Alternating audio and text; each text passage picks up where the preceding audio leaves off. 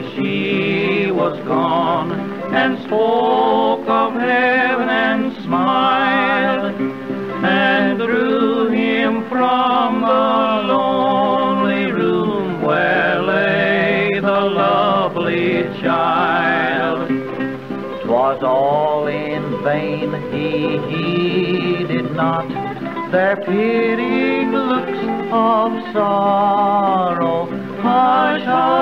Hush, said, she only sleeps, she'll wake again tomorrow.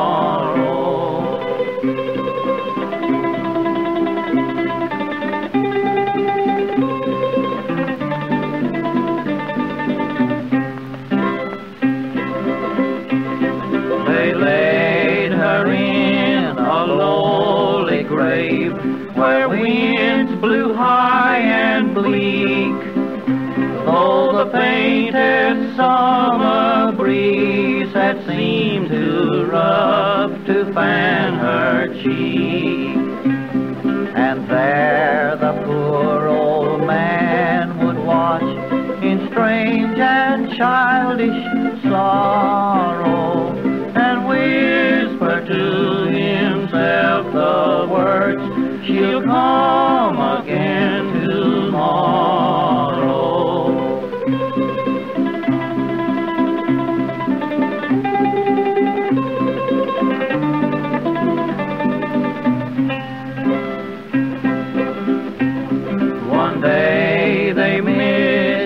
long and sought where most he loved to stray.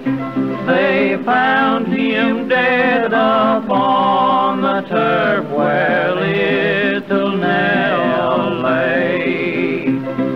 With tottering steps he wandered there, fresh hope and strength to borrow, and e'en in dying breathe let her